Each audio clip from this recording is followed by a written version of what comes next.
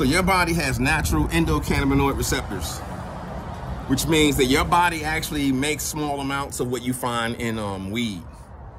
But when you start smoking weed, you actually bring your body to a rest and making the amounts that your body deems necessary, which means that when you smoke weed, you're actually putting your body in a dependency upon external um, sources and amounts of uh, cannabinoids, which means that when you smoke weed, your body's natural feel-good chemical, I don't want to use the word endorphin.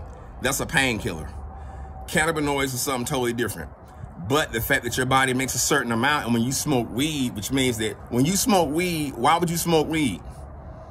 Uh, everybody has different reasons, but some people, their bodies were born malfunctioning at birth. If your parents were using certain drugs when you were born, then the amount of cannabinoids that would satisfy you have actually been altered, which means that you might have to smoke weed because when you were in the womb, there were certain uh, amounts of cannabinoids that compromise your body's own ability to make those cannabinoids, which means that as soon as you were born, you were well on your way to becoming an addict if you started smoking weed and continued to the point where you needed more of that hedonistic chemical. I don't know what you call it. It's different for every drug, I guess. I guess, let me see. What is it called? Um, it's on that movie, uh, I Come in Peace. It's endorphins. I guess it's endorphins.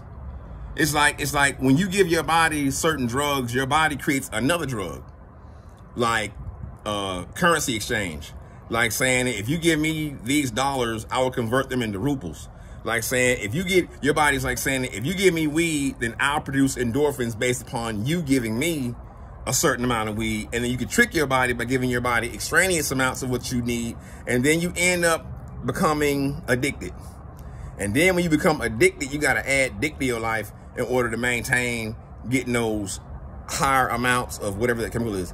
And now I'm going to be hated for this video. And if I'm not hated every day, then that means that my life is not normal. So me being hated, if you hate me, that means you care. If you don't care, you don't hate what you don't care about. You just don't care. That's apathy. Hate comes from love or a frustrated sense of admiration. Peace, peace.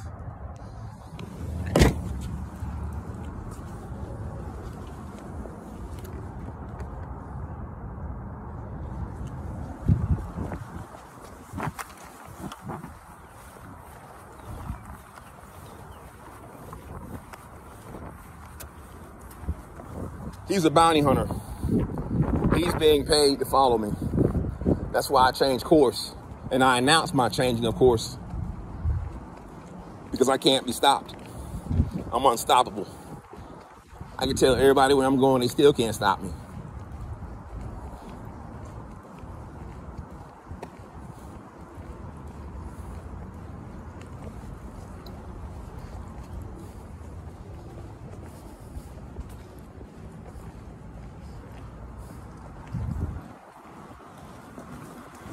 Green bounty hunters.